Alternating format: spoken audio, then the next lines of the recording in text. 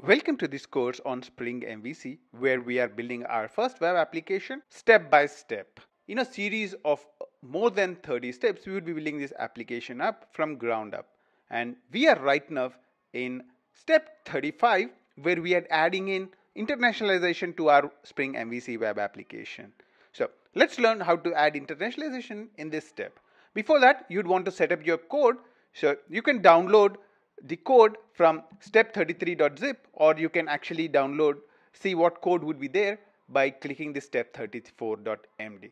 You can click the step33.zip and it would take to you to a page where you can click the raw button and then you'd be able to download the zip. The zip and the step-by-step -step details are on GitHub repository in 28 minutes Spring MVC step by step. So it's in 28 minutes Spring MVC step by step that's the URL as well, github.com in 28 minutes Spring MVC step by step. You should be able to Google to it and get to it very quickly as well. And in here, we are right now looking at our step 35. And if you want to install the step33.zip, what you can do is you can use the installation guide which is present in here. There's an installation guide which helps you to install Java, Eclipse and Maven as well as this zip. So if you already have Java, Eclipse and Maven installed, then the only parts you would be interested in is how do you run the application in Tomcat.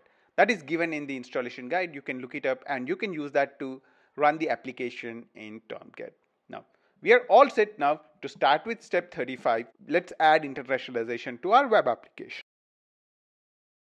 In the previous step, we learned how to add error handling. In this step, let's learn how to internationalize our web application. Internationalizing web application means when users want to see the application in different languages, the entire application needs to be customized for their specific language.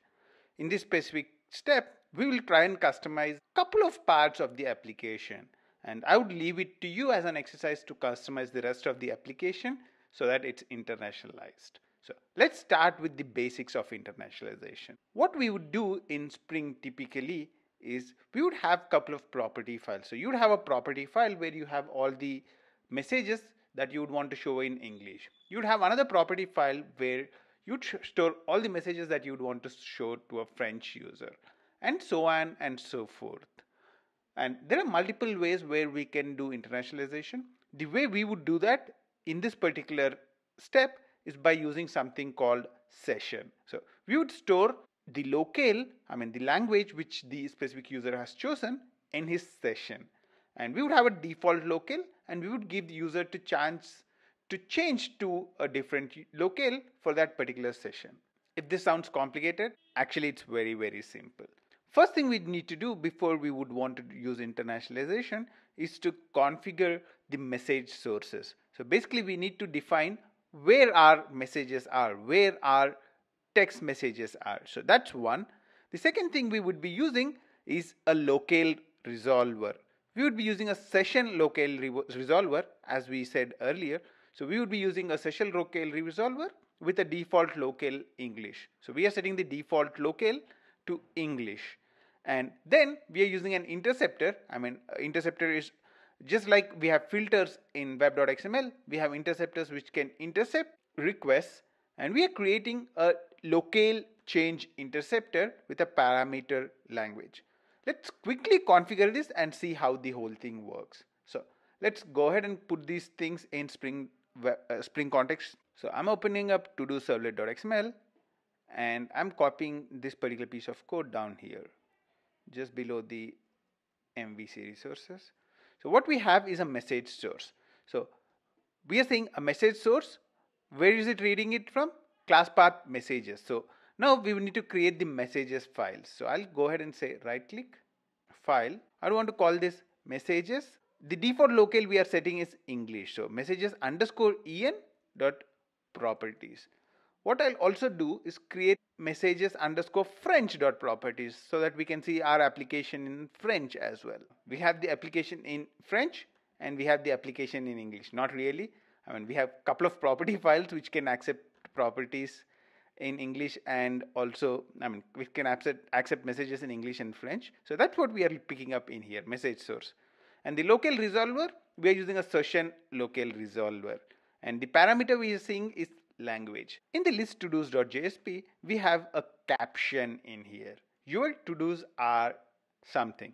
So what we want to do is we want to internationalize this. So if somebody is coming in French, we would want to show the message in French and somebody is coming from an English speaking country or English speaking locale, we would want to show him this in English. I would want to use a tag from Spring. So what I'll do is I'll go to the header.jspf and quickly add that tag in.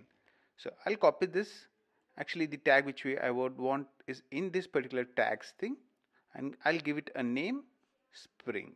So now this is ready. So I can go ahead and use that particular tag in here in the caption. So I can type in Spring colon colon message and one of the things that I would need to pass into this is code. So what message do I want to display? I want to show to do dot caption in here. What I'll do is I'll go and put to do dot caption in the English properties. So English properties, your to dos are in English. I'm just putting something in the language so that it shows up. So now in the French one, I'm saying your to dos are in French. Actually, what we should have put in here is the translation in French but just to keep it really simple, I'm saying your to-dos in French and I'm saying in the English properties, your to-dos in English. Let's keep it very simple. What I'll do is I'll need to restart the server for picking up the changes. Let's log in now. I'll go to the manage your to-dos. By default, it's coming up in English because that's how I've configured the application to come up. But when somebody from, if somebody who wants a French login comes in, we would actually need to pass in a parameter language is equal to fr.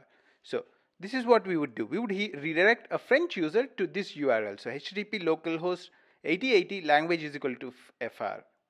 And now he would be redirected to the user ID password in 28 minutes dummy. You are now in the welcome page. Now if we, we only configured the to do page, so you now you see this is in French. So let's go ahead and add in a little bit more on the welcome page as well. All that I need to do to internationalize the page is now go to the page. So I would want to go to the welcome page. So I'm opening up the welcome page and I would say here instead of welcome, I would say welcome.caption.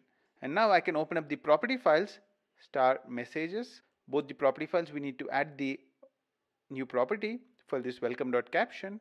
In English, welcome in English. In the French one, welcome in French. So let's wait for the context to pick it up.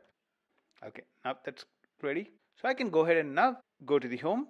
We are already in the French context. So you can see that the welcome in French, welcome in French in 28 minutes.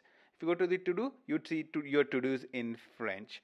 So basically what's happening in here is based on whether, based on the login URL, based on whatever language that we are passing in the login URL, the entire application behaves differently. So for a French guy, you'd see everything in French. You can go ahead and add in Spring more Spring messages wherever you'd want. You can even replace description, target date, and is completed by Spring messages.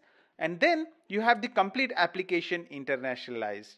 All that you need to do is whenever I, let's say I need a Spanish thing, I need, just need to copy this and translate it into Spanish and have it in here and just ask, uh, give a kind of a different URL for the Spanish guys. Just say question mark language is equal to SP or I mean, whatever the locale for Spanish is.